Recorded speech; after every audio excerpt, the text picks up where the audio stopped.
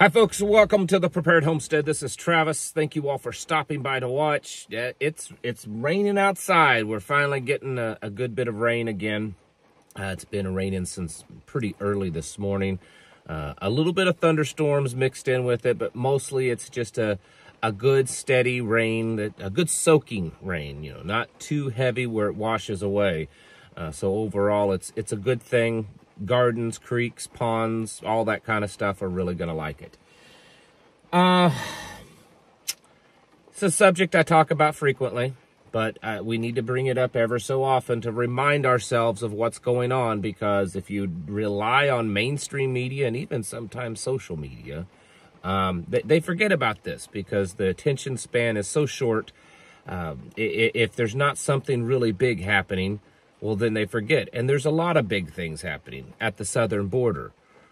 Tens of thousands of people a day are coming across it illegally. Millions and millions of people have come into this country illegally.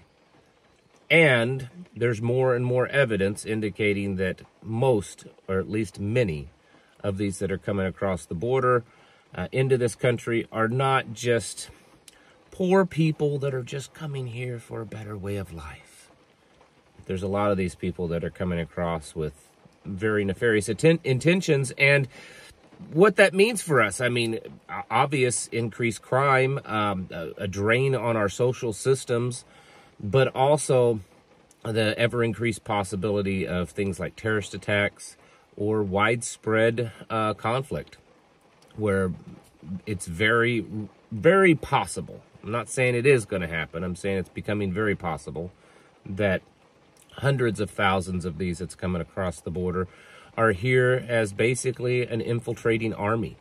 And we have to be aware of that and and be continually planning because as I've said many times before, this is probably the biggest, most important thing that is happening of our time. Uh, is that our country is being overrun uh, by people from all over the world. Many of them do not have America's best interest at heart. Uh, so wanted to start talking about that again. Uh, wanted to mention that the meeting for this month uh, in May is the 26th, and we will be having that. So please plan on attending 26th of May. Same time, same place. Uh, meeting starts officially at 2, but we open the doors around noon, uh, 11 or noon, something like that, so people can come early and, and mingle and, and network and get to know each other and build community. So please plan on attending if you're able to. Also, I will uh, leave a link in the description and comment section below. Uh, we're still working on that fire station. Uh, I'll, I'll give an update uh, here soon, but we we're still working on it, and and we if if you're able to, I don't want to make you feel guilty or anything, because many of you have helped. A lot of you have helped, and that's been um, it, it's it's done so much to to get us much further down the road, but we still need a little bit of help. And so if any of you uh, feel it in your heart to donate to help the cause of rebuilding this old fire station so we can better provide um, all sorts of medical services and fire service and, and other things to this very rural community, there'll be a link down there below where you can donate to the campaign. So um, this is not necessarily brand new news, right?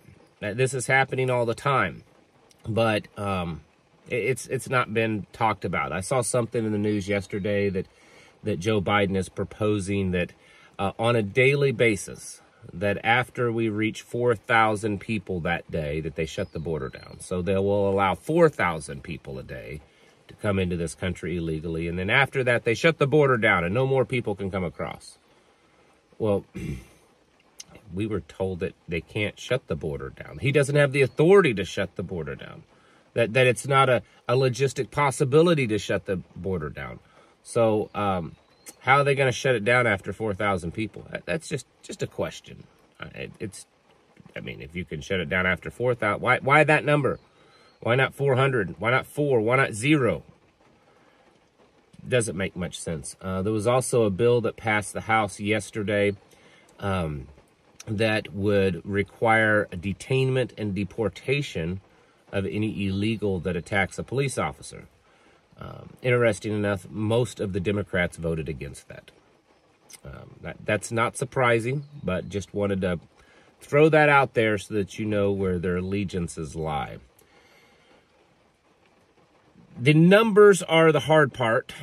Uh, officially, they're saying somewhere between 7 and 10 million have come across the border. That's what the government says since Biden has been in office. But there are more and more sources that are putting that number anywhere between 25 and 50 million people. In fact, some of the latest numbers are indicating that as much as 16% of the American population right now is are illegal aliens. Um, six to 900,000 potentially Chinese have come across the border, and the vast majority of them are, as many of you know, military aged Chinese males. We're watching crime increase dramatically. Uh, we're watching just the degradation, degeneracy of, of our society happen more regularly. I think that some people, and some of you watching may fall into this category, don't notice it or think about it as much because it may not be happening necessarily in your area. And that's the thing. It's it's widespread, but it's not everywhere everywhere. There are still communities and towns and stuff in, in the United States that that aren't really feeling much of an impact of this. They're not seeing it on a daily basis. And you know how we are as people. If we don't see it, then we forget about it. And I want to remind you, those that fall into that category, that this is happening every day. Just because it's not being reported every day, it is absolutely happening every day. More and more are coming across. And I firmly believe that more and more of these people that are coming across aren't here for good intents. I'm, I'm going to show you this video here. And, and honestly, I think I can just, for the most part, show the video and you can kind of come up with your own uh, opinions of it. But it's a, it's a video at the border. Uh, it is some Syrian men that are coming across the border. And this guy is just asking them, you know, where are you from? What's your name? What are you here for? I want you to pay attention to a few things. How are they dressed? What they're wearing? What they look like? I mean, think about this. That we're, we're told that uh, these people travel thousands and thousands of miles on foot through jungles and deserts to get there. Do they look like they've been walking that long, traveling like that?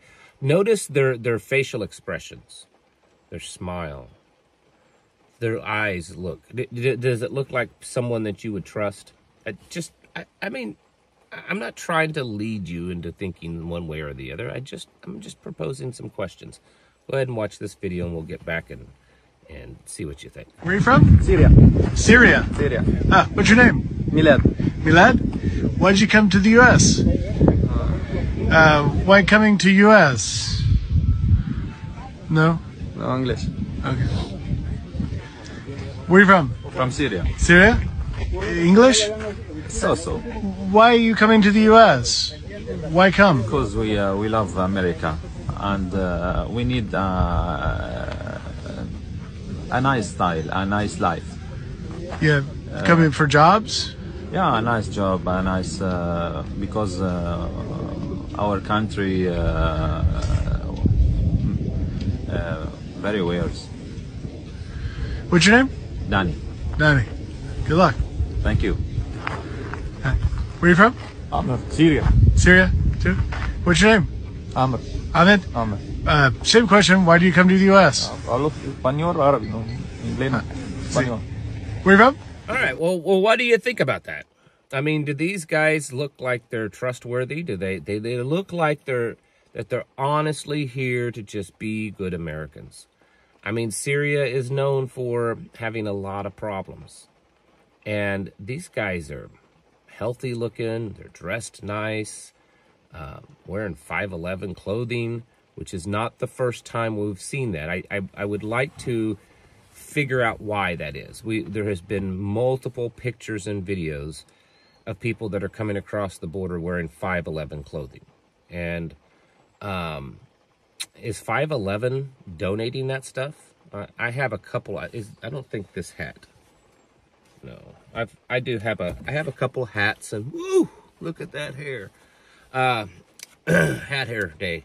Um, I have a few things, but I don't have a lot. Um, 511 typically markets their, their, their clothing to law enforcement, military, and outdoorsmen. I'd like to know why so many people are wearing 511 clothing. Anyways, it's not cheap stuff. Just, I don't know. I wanted to share that video because, you know, they, they just, oh, no, we're, we're here because we want a better life in America, you know, that kind of thing. This is the kind of people that are really pouring across the country. Uh, people from African nations, Middle Eastern nations, yes, south of the border, uh, China, several places. In fact, um, I saw a report not that long ago that out of all the people coming across the border, uh, Mexico is not the the dominant nation. It's not even the majority even more anymore. Uh, so it's you can't just say it's a bunch of bunch of Mexicans coming across the border or a bunch of Hispanics coming across the border because that's not necessarily the case either. This is a problem that I, I personally don't believe can be fixed through legal or political means. Uh, I know that Donald Trump is campaigning right now that if he gets elected into office, he's going to deport every one of them. Um, I don't number number one. I, I don't believe that they would. I don't believe that they have the. I, I just don't believe it would happen. But even if they tried, I don't see the logistic possibilities of making that happen.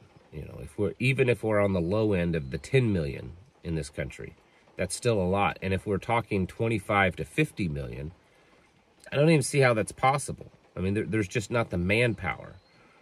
So to not trying not to sound all Debbie Downer about it. Um, I think we're here for this for for a while. You know, I spoke the other day about this and was talking about how the United Nations, uh, for several years now, going back several years, has been pushing this this agenda of basically replacing the populations of the West of the Northern Hemisphere with people from the Southern Hemispheres uh, you know, African nations, Middle Eastern nations, Hispanic nations, of, of putting them into Europe and to North America. And we're seeing that. Canada is flooded with them. Uh, all over Europe, you've, you've seen probably multiple videos and reports of all the things. They're, they're ahead of us. It, it's happened there long enough that, that it's really starting to, to cause things to fall apart. The, the degeneracy in the streets is awful.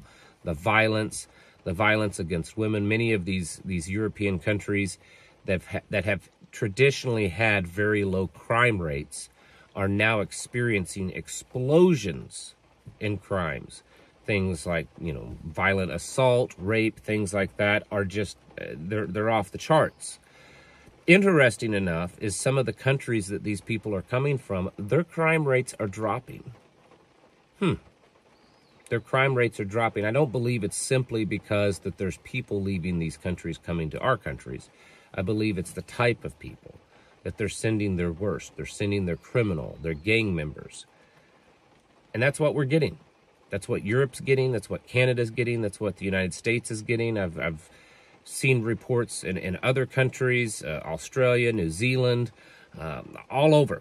This isn't just happening in the United States, but it, it, it's happening to us most definitely. And we can see where this is headed. Like I said, take a look at Europe. You want to know where this is headed? Look at Europe. Again, I, I don't have a solution for this, at least not a legal political solution, okay? I, I just, I don't, I think it's, it's too far gone. I may be wrong. I hope, I wish I was wrong and I hope that I'm wrong. But I think that we're too far gone. Too many people here for this to be handled legally. Could some be deported? Yeah, sure, absolutely. But could it all be deported and, and, and fixed and put us back to the way we were? No, I don't think that's going to happen. So what do you and I need to do for about it? Well, we need to get ready. You need to be stocking up. Yes, you need to be self-sufficient. Um, I could easily see that based on what we're seeing in Europe, that a lot of places in the United States could get to the point that it's too dangerous for you to venture out in the public. You know, you want to be able to stay home.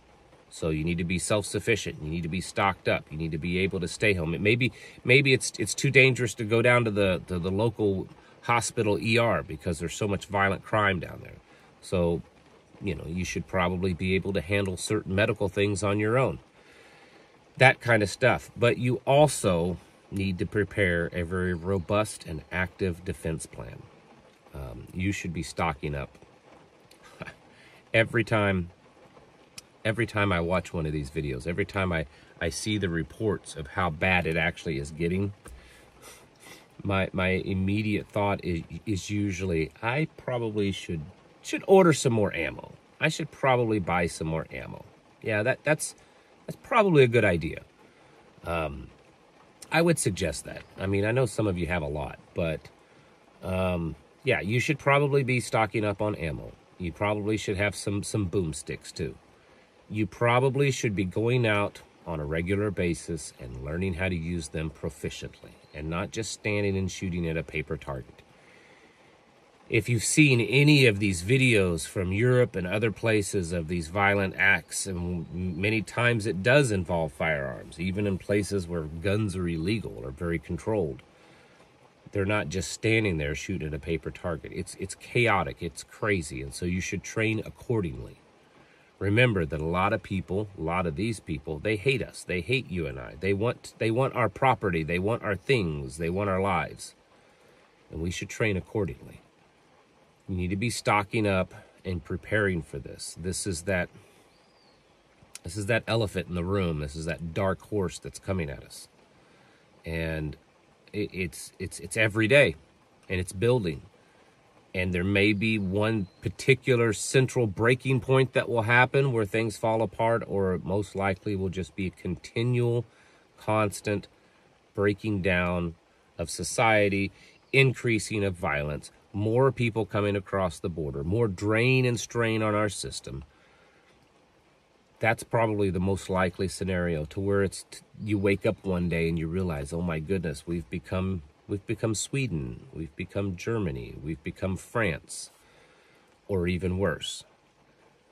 I would strongly and highly suggest that you start getting your houses in order very promptly and put a lot of energy and effort into it. You need to be preparing yourselves mentally, physically, and spiritually. Thanks for watching, and I'll catch you in the next video.